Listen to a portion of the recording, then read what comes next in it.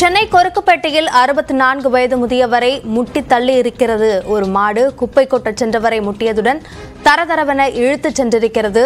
மாடு முட்டியதில் முதியவருக்கு எலும்பு முறிவு ஏற்பட்டிருப்பதாகவும் தகவல் கிடைத்திருக்கிறது. அதனை அண்மை செய்தியாக பார்க்கிறோம்.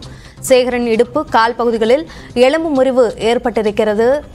அவர் தற்போது மருத்துவமனையில் சிகிச்சை பெற்றிருக்கக்கூடிய அந்த காட்சிகளை நாம் பார்க்கிறோம். அறுபத்தி நான்கு வயது முதியவரை சென்னை கொருக்குப்பேட்டையில் மாடு ஒன்று முட்டியிருக்கிறது. சென்னை மற்றும் அதனை சுற்றி இருக்கக்கூடிய பகுதிகளில் மாடு முட்டக்கூடிய சம்பவங்கள் தொடர்ந்து நடைபெற்று வருகிறது.